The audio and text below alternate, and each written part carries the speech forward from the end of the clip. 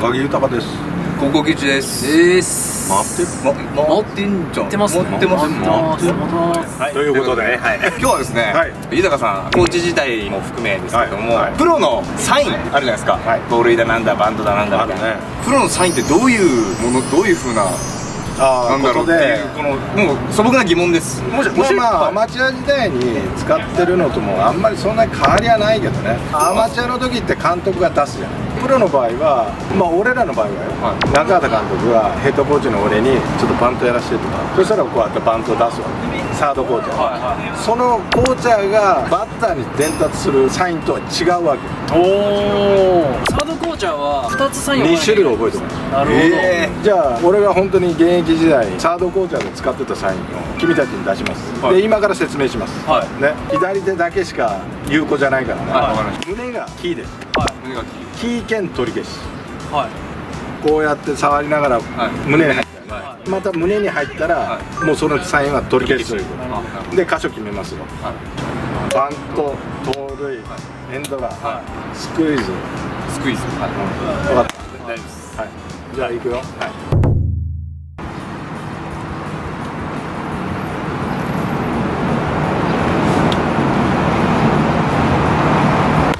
一回。はいあもう一回行くよあじゃあもう一回お願いします。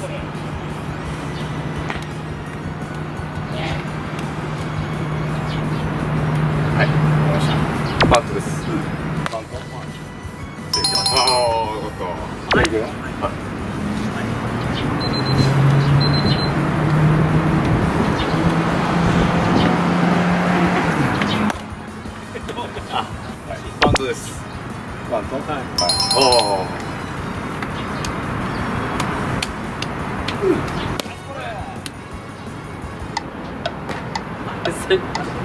あ盗塁盗塁お前らそんなに考えてたの？うーんってなるよね。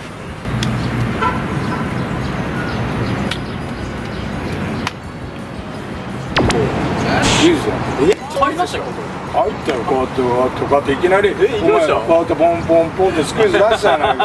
バ カ言われるぞ。おい。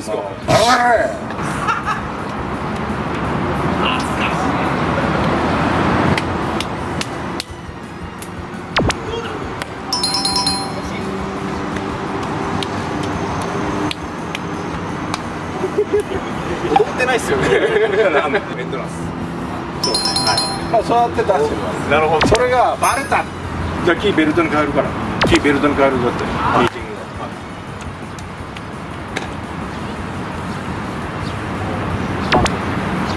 なしなし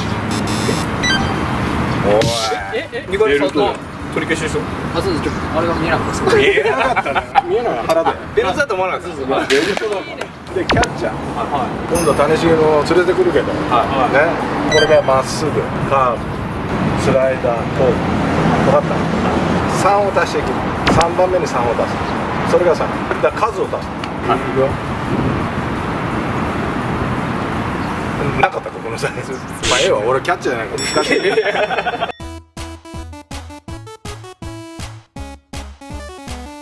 日高さんは伝達ミスしたことあるんですか？わざと見落としたことある。よ例えば選手が足が痛いって言ってる俺らしか知らなくてあ監督が知らない場合もあるわけよ。あ無理して盗塁とか出るわけよ。はこんなの絶対無理やと思って、えー、かっこいい。おすいません。ベンチャー。ベンチャー